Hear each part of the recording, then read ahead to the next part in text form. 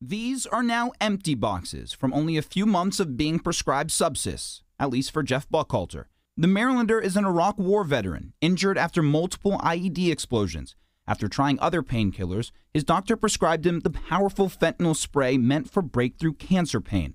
But the complaint he files alleges his treatment and prescription of Subsys increased in dosage, amount, and frequency over a period of four years until he ultimately became addicted.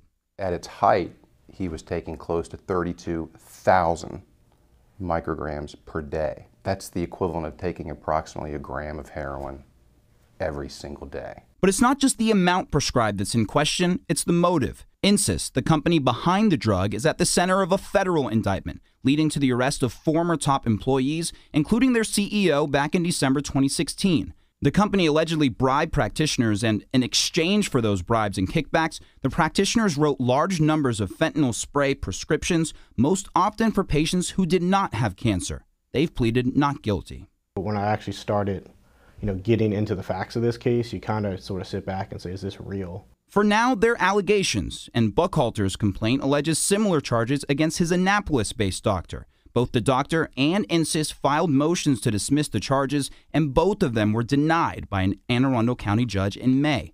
In a statement to NBC News, Insys said in part, We continue to emphasize ethical behavior within our organization and pursue opportunities to illustrate that our company's mission is to put patients first. The Buckhalter's lawyers say that's not the case. For a company to be behaving in this manner can't put it into words.